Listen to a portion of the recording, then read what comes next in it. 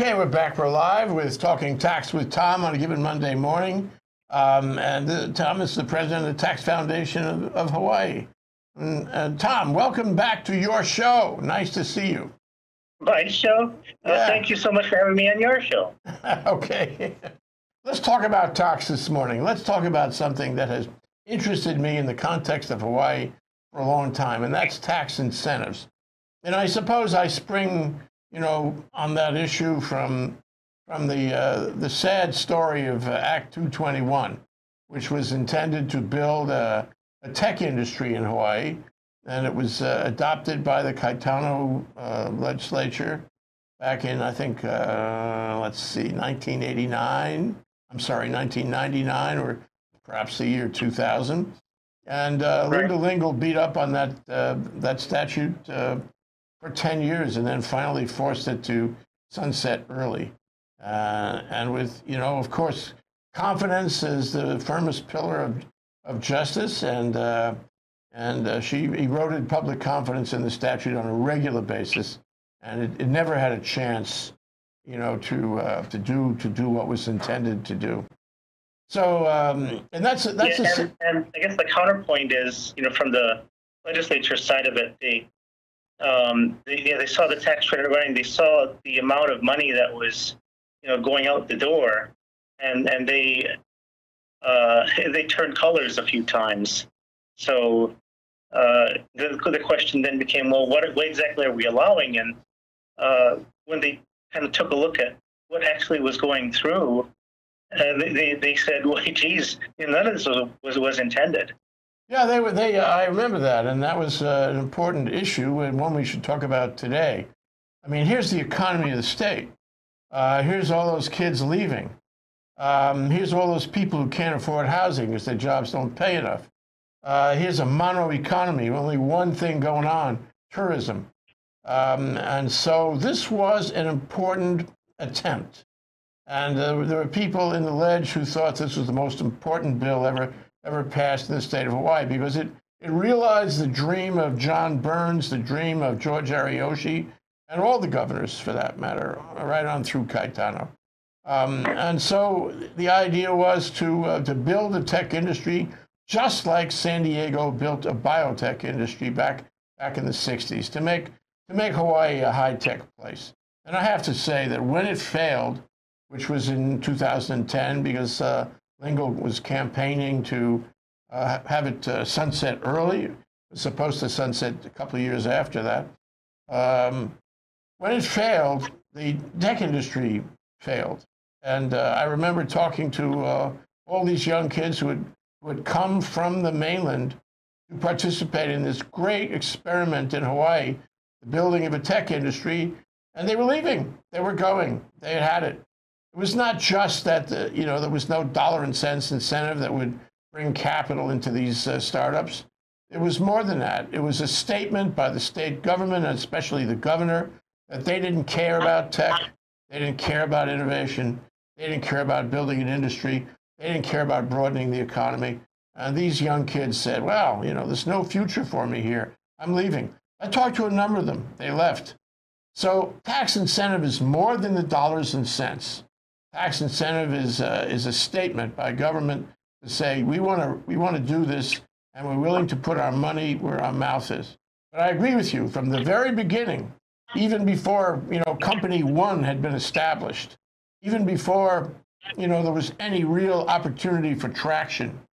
Um, the Ledge and Lingle were making these, and, and uh, Sean uh, Sean Hao in this Honolulu Advertiser was criticizing the statute because it wasn't uh, it was costing too much and it, wasn't returning anything right now.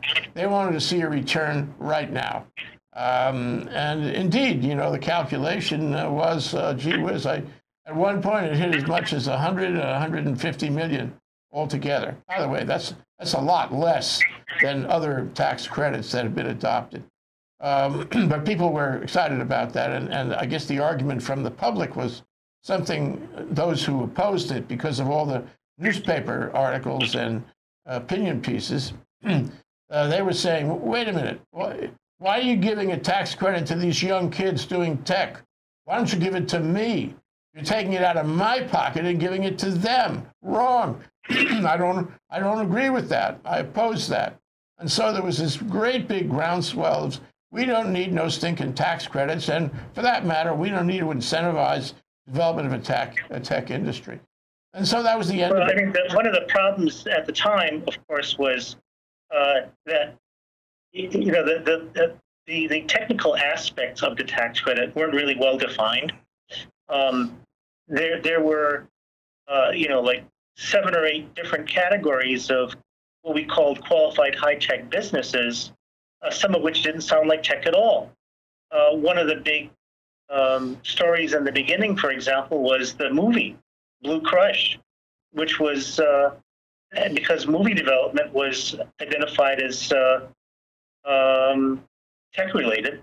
I, don't know how, uh, but it was included in the same rubric and was uh, eligible for the same credits. And that's um, kind of what happened. The uh, you know the, the, the producers of the movie uh, got a smart lawyer to write in, uh, and and the um, uh, and the department had to rule that the movie was eligible. Well, I totally agree. There were abuses, and Blue Crush was was clearly uh, notoriously one of them. It was also the drop-down corporations, where a, a wealthy local corporation could create a subsidiary and have the benefit of this tax credit. Um, where you know, I, I, think it was more it was more intended for startups, not the, a drop-down subsidiary. But you know, as uh, as her advisors told her, um, Lingle, uh, you know, you can fix that with regulations.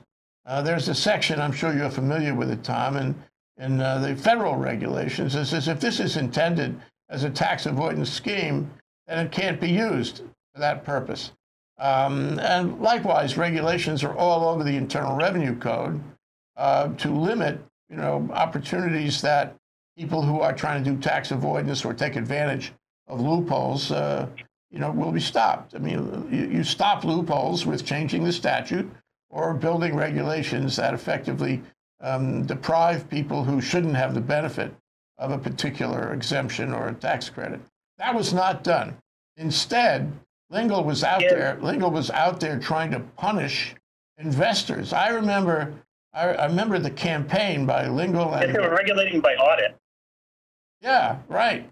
Um, and they, they had to turn their pockets out. They had to show you their their uh, their their tax returns. I mean, make public disclosure. I think um, they had to they had to bend over uh, and and um, reveal things that ordinary taxpayers ordinary investors didn't have to reveal. And it was, was obviously intended to, be, to discourage.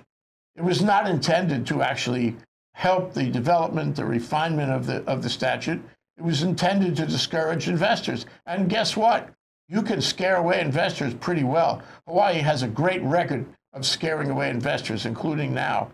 Um, but, what, exactly. but what I enjoy most, and I'll stop after this, is the article in the paper written by Sean Hao it was a banner headline, and it said, Act 221 investors found to be wealthy.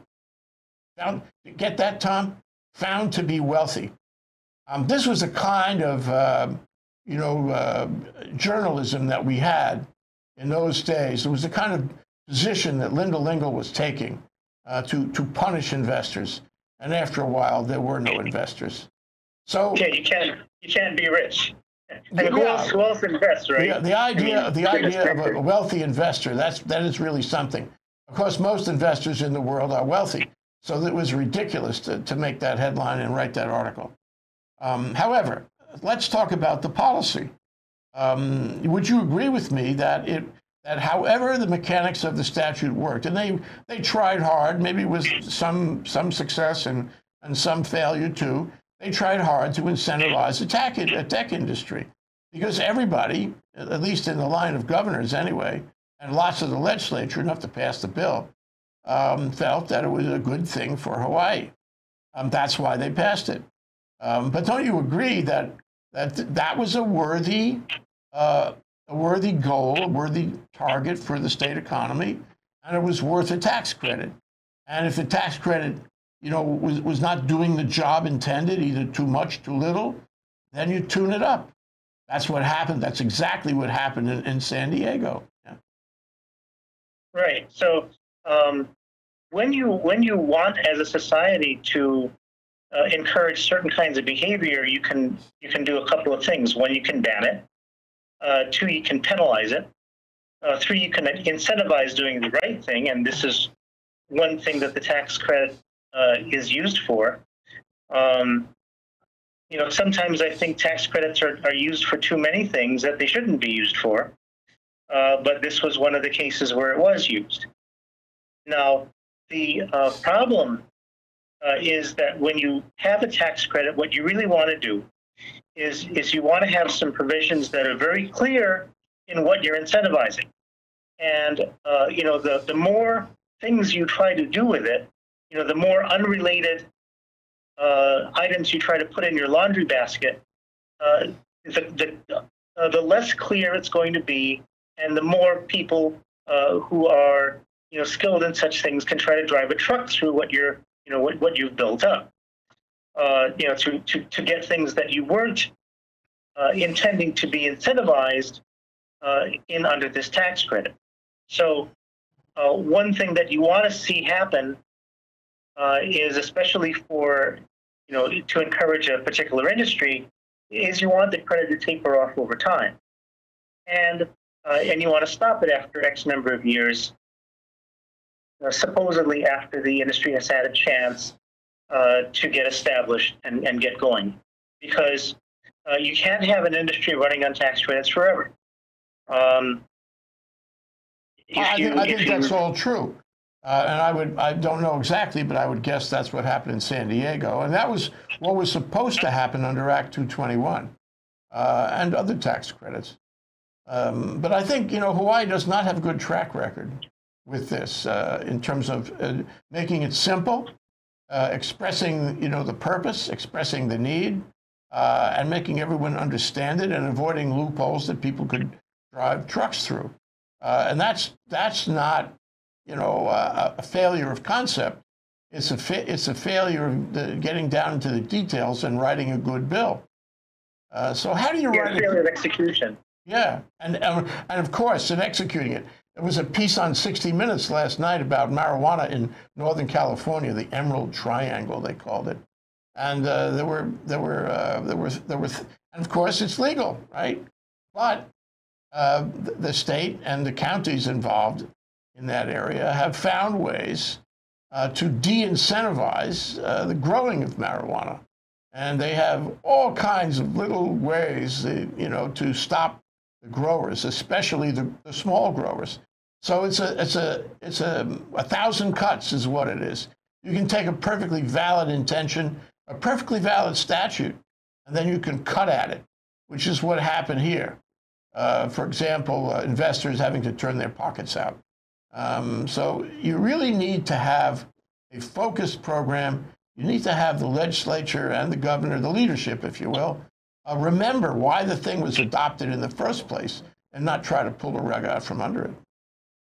Yeah, you're absolutely right. I mean, one of the one of the big problems uh, that happened during Act 221 was uh, there, you know, there were changes made to it um, for for I think the wrong reasons. Uh, the you know the uh, the credit program was going it was you know losing tons of money, uh, and you know proponents came to the legislature and said, well, it was it was scheduled to sunset on X date, but let's have a few more years. Let's have maybe ten more years, um, and uh, and they did get a couple of extensions through. Uh, not not because really they uh, they had an industry that was viable and going, uh, but because what they had was, um, let's say, inaccurate and and uh, it wasn't really hitting the people that it was supposed to hit, and uh, and people were trying to fix it to make it better.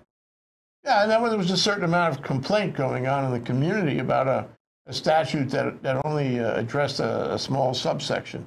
But that was a subsection that should have been addressed. That was a subsection of the people who would build it.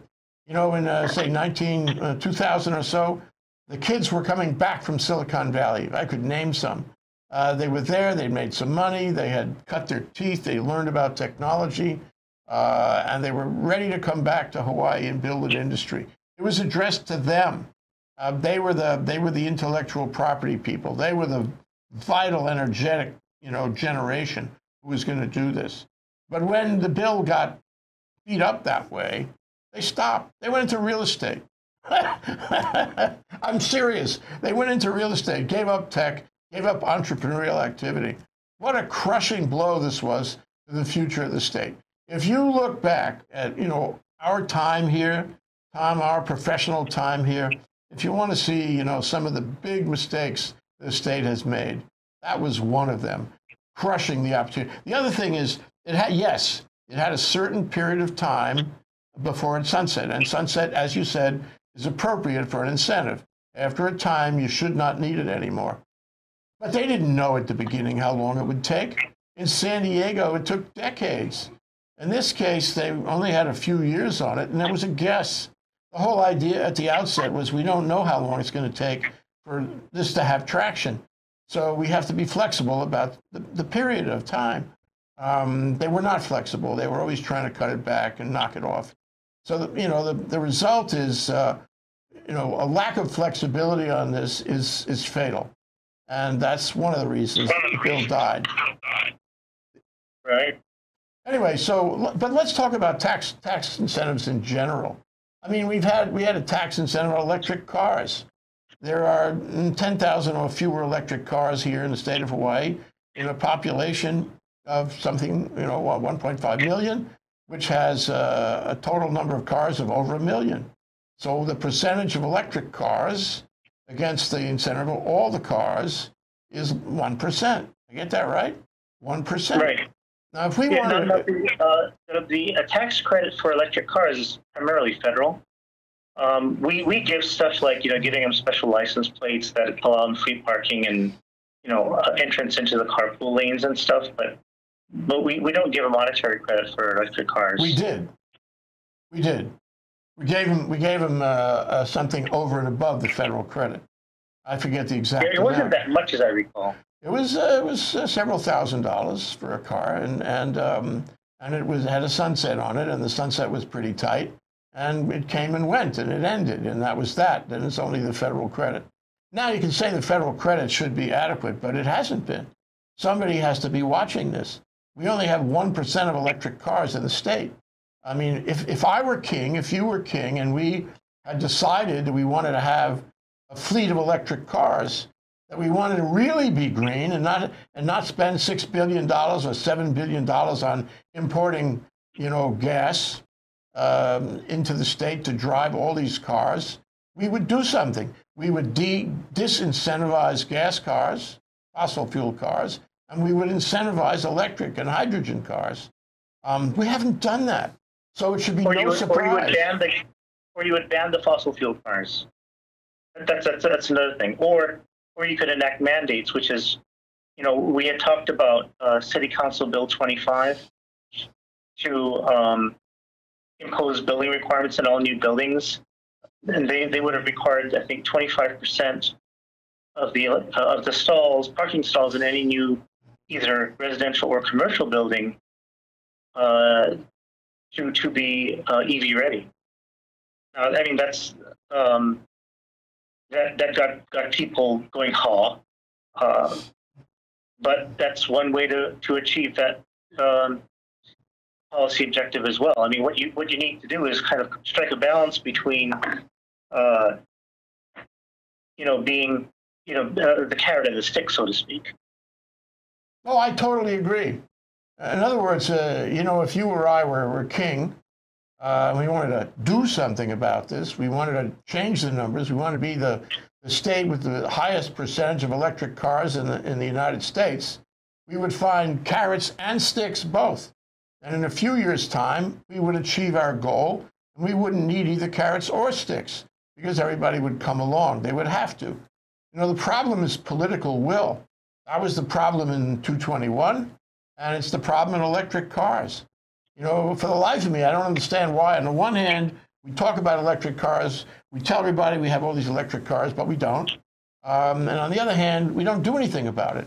there's aside from um, you know allowing free parking at the airport, which is not entirely free, uh, or free parking at meters, which is not entirely free.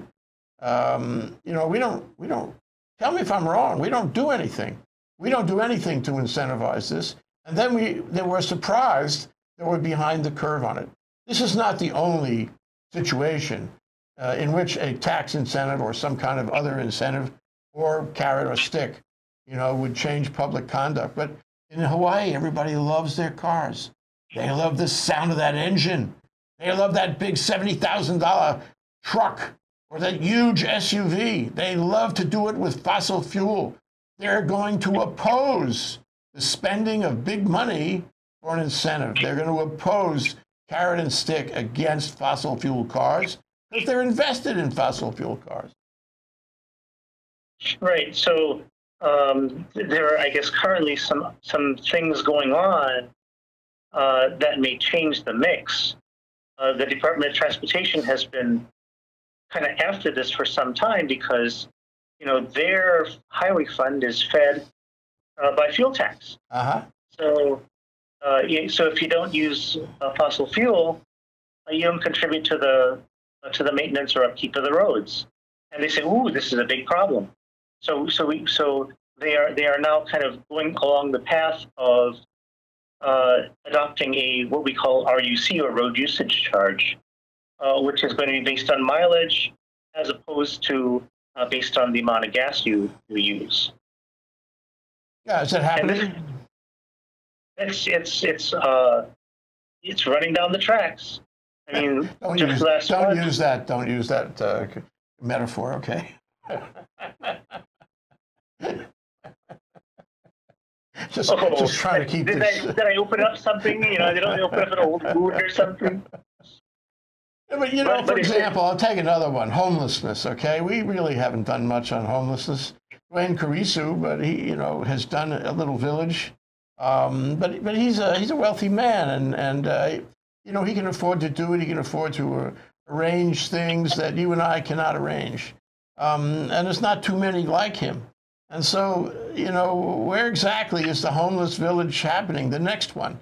And can we have homeless villages for all the homeless? Uh, there are 15, 20, 25,000 people that could use uh, a homeless village. I mean, a good one, one that provides all kinds of benefits. And how do you do that? Well, you know, they get some charities, and, and some people uh, with kind hearts give to those charities. And the churches who get money from, you know, their parishioners, they give money for the homeless. But is there, I don't know the answer, maybe you do, is there a governmental effort in which governmental money is going into helping the homeless? And if not directly into the homeless, uh, what about tax credits? For example, if I wanted to build a, a homeless village, how about getting the land free or cheap? How about a holiday from income tax or a holiday from real property tax or gross excise tax for my efforts at helping the homeless? I don't think any of that really exists. So there's no real incentive or disincentive that's happening to actually make this happen. Um, wh- when are we going to learn about uh, changing public conduct using tax and other incentives and disincentives? There's a, uh, what I know is that there's a, a governor's coordinator on homeless. I, I know the guy. He's he's um, uh, you know Scott Morishige. He works out of the governor's office, um, and he's supposed to be uh, you know building an inter- interagency coalition between state and federal and uh, and county governments uh, to address this problem. What, what has actually happened or come out of it, I'm not really sure. Um, I think the Uh, operative, the operative word you used, he's out of the governor's office. Yeah, he has a little wee office there on the fifth floor of the Capitol. He doesn't have staff, or if has staff, it's minimal, and he doesn't have a budget. Um, so is that is that really the kind of effort uh, that it will take to correct to um, you know uh, ameliorate the homeless problem? I don't think so. That's not enough. That's not a statement of we really care about this. You know, what about giving him $100 million? Go for it, Scott. Uh, do something. Figure out a plan. Make it happen. They're not doing that. Nobody's doing that. yep, nobody's doing that. That, that I agree with. So this is a huge, big problem in the state, and we, you know, it's a, it's one of those one of those sacred cow type problems where yes, we give it lip service, but we actually don't do anything. Yes, we, we like to see innovation and entrepreneurship and tech, tech companies, but we don't do much to help them. you know, it's a, it's it's almost a religious concept. If God wanted their if God wanted the homeless to be could not be homeless, He would give them homes. God is not involved in this equation. Right. God is not involved in this equation. Just a man that caring for one's fellow man, and, and then and then you know for how long? You know, I mean, is this going to be a forever thing, or um, you know, the the uh, the opposite side of that equation is okay. Well, you give people some money uh, if they have, you know, even if they're not doing anything and they have no production and no uh, no no life. Um, okay, so now it's better to do nothing and get this money as opposed to doing uh, you know, work at McDonald's or Burger King or wherever it is and getting some minimum amount of money. Uh, so what do you do? And these fiscal questions are huge. Why? It's something that you and I talked about before a number of times. And that is the state can't pay its regular bills. So what, you know, the, you got to have a plan. Uh, like San Diego, you got to say we want to we want to have a really terrific economy. We want the economy, economy to hum. Uh, we want to have income here. It comes into the state. We want to be able to tax that, and we want to have the money to, you know, pay for the right things. Unfortunately, we don't have a robust economy. Um, a lot of the money in the, in the tourism industry goes offshore, um, and the wages in the tourism industry are not are not great. And so what what happens is um, and we're taxing them more heavily year, year after year. Yeah, yeah, right. Well, so you know the the result is um, uh, we, we we don't have an economy that yields a lot of tax, um, and by virtue of the economic activity, and so we can't pay our bills. We're way behind. You know, I mean, various estimates of unliquidated liabilities of 40, 50, 60 billion dollars. Sounds like Puerto Rico, you know. Um, and so uh, uh, you, you've got to do a jump start on things. You've got to build the economy. And I frankly do not understand why we don't do that. Do you understand why we don't do that? No, I don't understand why we don't do that. The um, uh, Executive Council recently came up with a uh, with a big paper on that, and and they said, you know, and you know, and I was I was I was part of this effort. Uh, they said, hey, look, we, we really need to look at what we need to do to get the state back on track. Um, i.e., you know, we got we got crumbling bridges, we have uh, maintenance backlogs, we have uh, you know all this kind of stuff that has been neglected and is, and is starting to fall into disrepair. Uh, so, what is it going to take to get us back to, to the status quo? And I think that the number that they came up with was like uh, like eighty billion dollars. You know, th- this is a, a kind of number that requires planning. I mean, it, it, it, there, there are people, I think, in the legislature and elsewhere who, who deny that a problem exists.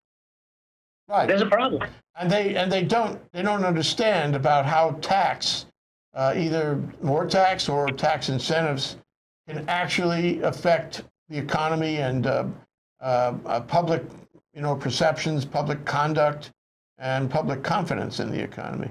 Anyway, I think we're out of time, Tom, but it's been great talking to you, and I really enjoy the remote, and uh, I hope we can talk to you again in a couple of weeks. Okay, great. Thank Thanks you. so much for having me on the show. Tom Yamachika, President of Tax Foundation of Hawaii. Always enjoy. Aloha, Tom.